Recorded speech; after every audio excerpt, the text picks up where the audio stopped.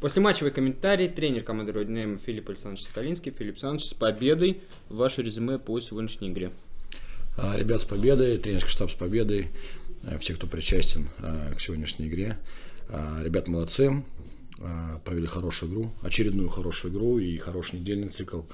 Вот. И мы сегодня были довольны как игрой, так и победой. А, несмотря на то, что мы играли с одной из самых сильных команд а, в нашей а, зоне, так скажем, да, наравне с «Зенитом», вот, наравне с «Динамо». Это команды, которые интересно играют в футбол с хорошим тренерским составом, который недавно заменил предыдущий также сильный тренерский состав, поэтому было непросто, да, но ребята проявили и характер, и качество игры было сегодня на хорошем уровне, и хорошие моменты были созданы.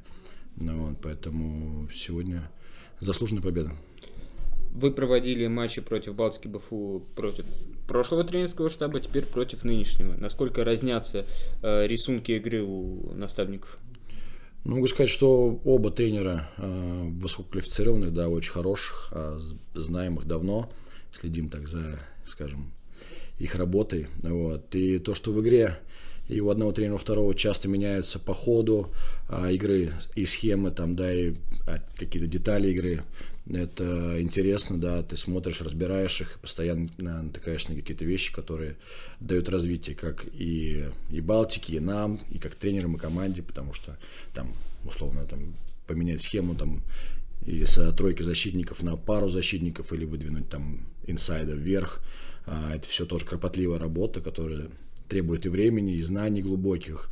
Вот, ребята э, очень воспри... восприимчивы, так скажем, да, и э, понимают, что от них хотят, и поэтому рисунок игры и там, и там был хороший, так скажем, футбольный. Можно ли сказать, что Балтика, скажем так, наша любимая команда, потому что очень хорошо против нее играем? Да, не знаю, можно так сказать, может быть, по результату, да, э, в, первый, в том чемпионате предыдущем там одержали победу, сыграли в ничью. Да, сейчас выиграли по результату, может быть, да. То, что любимое в плане того, что мне нрав... нам нравится играть а, с интересными командами, которые играют в открытый футбол, которые оказывают давление и сами пытаются выходить из обороны а, через комбинационный футбол, там короткие, средние, длинные передачи, все используют. То есть такой багаж хороший у них плане образования и в плане идей. Поэтому всегда интересно играть, когда ты разбираешь кого-то, подстраиваешься или и сам навязываешь свою игру. Вот, и по ходу игры тоже какие-то детали замечаешь, и в перерыве вносишь нюанс, нюансы, коррективы. И ребята с этим справились. И второй тайм, опять же, как с Владимиром, провели более качественно и хладнокровно. Да, были моменты, когда, ну, наверное, команда не будем называть какие, да, которые просто играют, там, выбивают, пуляют, да.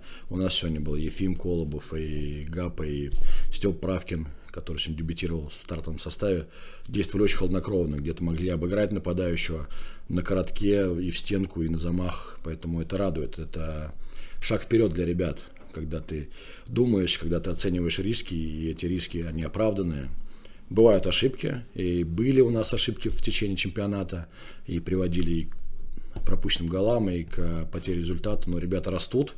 А, и это самое главное, что мы видим, что у них еще есть долгий путь да, до премьер-лиги, как минимум. Я очень хочу и вижу, что ребята на правильном пути и готовятся в большой футбол. Матч выдался жарким. А, какие эмоции были на скамейке на седьмой минуте? Ну, на седьмой минуте. Но они с первой до последней минуты эмоции они не прекращаются. Что у нас, у тренерского состава, имею административного штаба, что у ребят запасных, тех, кто у нас не участвует в игре. Э, все хотят победить, все хотят э, каждый свой эпизод доиграть, проживают, так скажем, каждый свой момент. Поэтому что пенальти, что там последний, что гол, что, что последние минуты, они всегда очень жаркие. Так что эмоционально любая встреча для нас, она на пике. В перерыве заменили, заменили Алла Нагаева.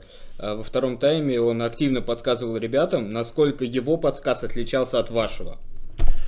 А, слышал голос Алана, да, слышал его эмоции, да, не вникал в них, но какие-то детальки он там подсказывал, да, нашему фланговому игроку Роллу подсказывал, ну вот что-то мы это слышали, ну, пока ему еще рано на тренерскую, э, на тренерский мостик, да, и он сказал, Саныч, как вы там вообще, какие эмоции, я не понимаю, вы испытываете, я точно туда не пойду, когда закончу. Вот, поэтому, ну, подсказывал и эмоционировал наравне с нами. Спасибо, с победой. Да, все.